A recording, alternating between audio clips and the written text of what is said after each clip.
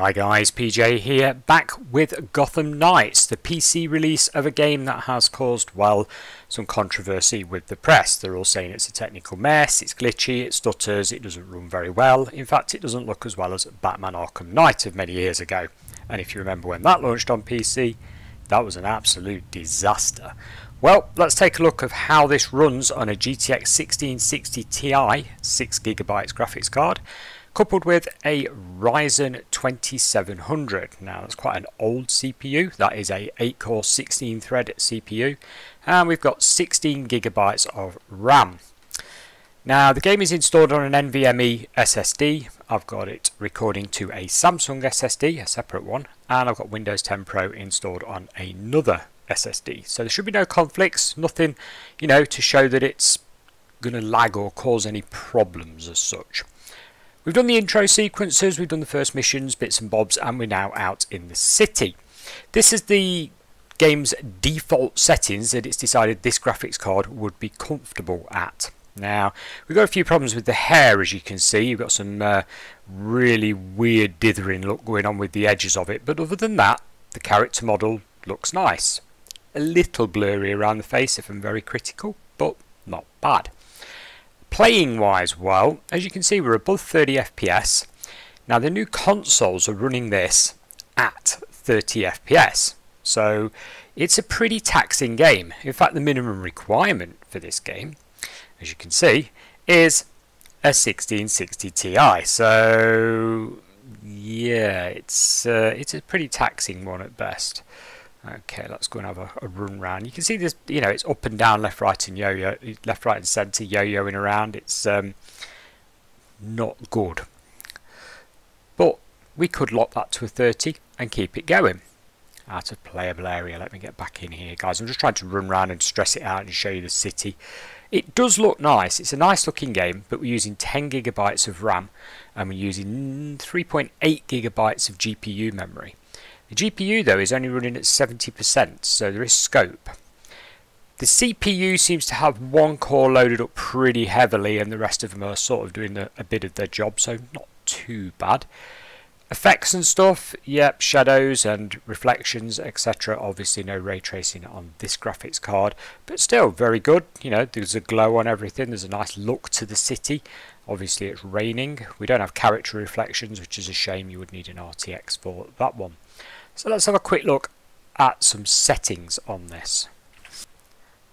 Okay, so just so for the curious out there, it does have a very good photo mode. So photo mode is your thing. Yeah, this game, excellent. Difficulty, very easy, easy, medium, hard. And then your languages, I will stick it down to very easy for this video, otherwise I'm going to get wiped out just running around the corner to show you how good the game looks. English, French, etc. I'll skip through these quick, that's all of them. Not that many on this particular game. There you go, we can go all the way, oops, to the end. Got a few more on the language one there. Go all the way back to the start or I literally won't have a clue what I'm doing. Just like some of the other games that I've done this on accidentally. Online privacy can be changed to public or friends, friends only, private. We'll put it on public. This is the Steam version of the game, by the way, guys. I do believe this is available on Epic. It shouldn't really make any difference whatsoever, but still. Uh, we've got a few other options down here. You can invert your, your camera and stuff like that. So, quite a lot. There we go. There's all your, your different stuff. Uh, controls. You may have noticed I'm actually using a PlayStation 5 controller on this. Um, rumble triggers, I haven't noticed them yet, to be honest. I uh, haven't noticed the speaker in the controller doing anything either, so we'll have a go in a minute and see if we can provoke any of that to happen. But yeah, you can also work an Xbox controller. I've had that running on it very well, no problem at all with the Xbox controller. Both normal and series, that is, so no problem. Mouse keyboard plays on that. If I'm going to be picky, it doesn't feel natural.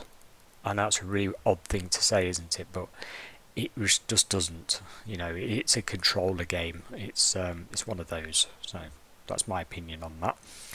And you've got channel configuration. There you go. No 5.1 unfortunately, which is a shame. and you've got your voice up there and everything. You can have press to talk or fully open or completely off. Take your pick. There's everything. Graphics, this is the biggie. Game has set to borderless full screen for me. It's got windowed as well and borderless. Like I say, absolutely no no full screen on this particular one. This is a 1440p monitor, so we are running 2560 by 1440. Obviously you can change that and improve on the performance at no end because 1440p is quite taxing on a 1660 Ti. VSync on or off. Obviously off for this would be better so we can see what's happening. However the game does have screen tearing with it off. Brightness, contrast, saturation. HDR on or off only works if you've enabled it on Windows. At the moment I've got it switched off on Windows. I believe it makes it look a bit weird, especially if you're taking screenshots.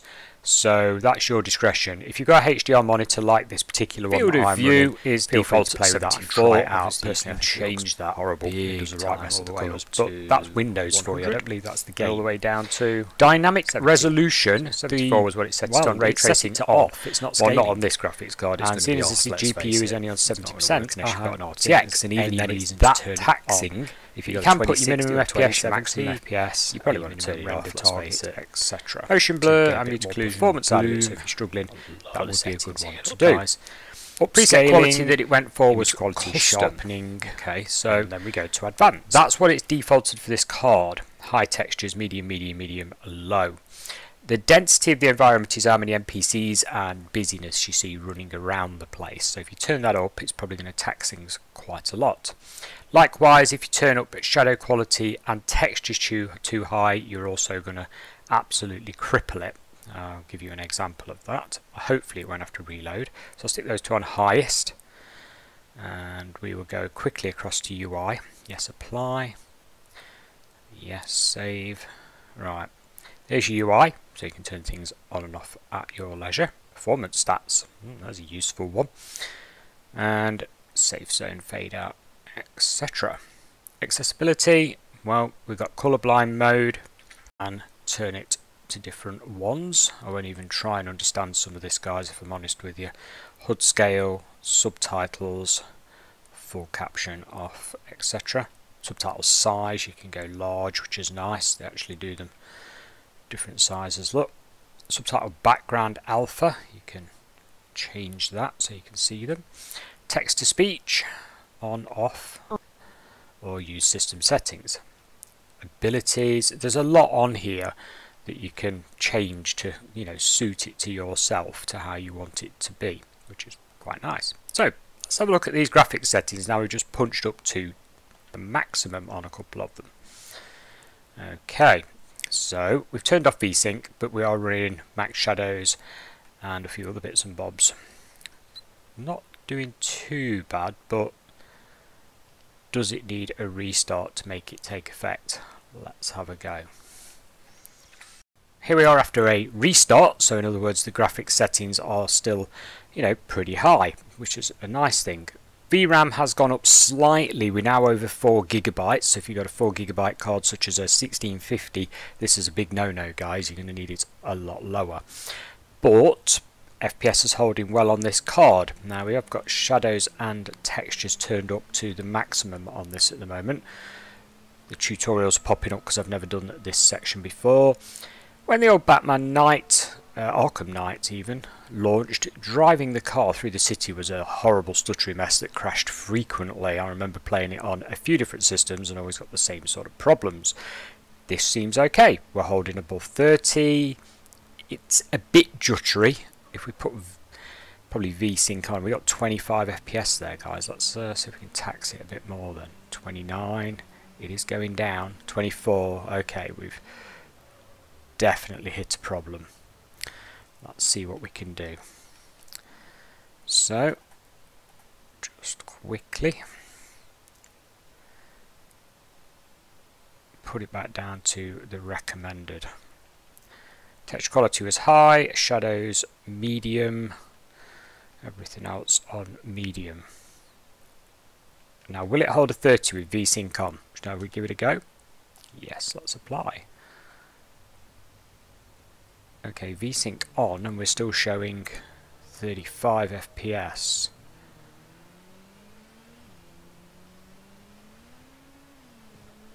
Twenty-six FPS. Not as simple as we originally thought for this game to run smoothly. Like I say, the press have hammered this game for its technical problems and everyone is waiting for, well, a patch to be honest. It is playable, but it is a bit juddery. It's definitely not fluid and smooth. It's not bad. But it's not perfect either. It's very up and down the scale. One minute we're on 50 FPS, the next minute we're on 25. So I think my current advice is wait for a patch before you dive in and buy this. It's not it's not ready. It's going to be a good game. I mean, the story and plot from what I can see early on is actually excellent. Um, you know, it's got some really good cutscenes. Loving the cutscenes.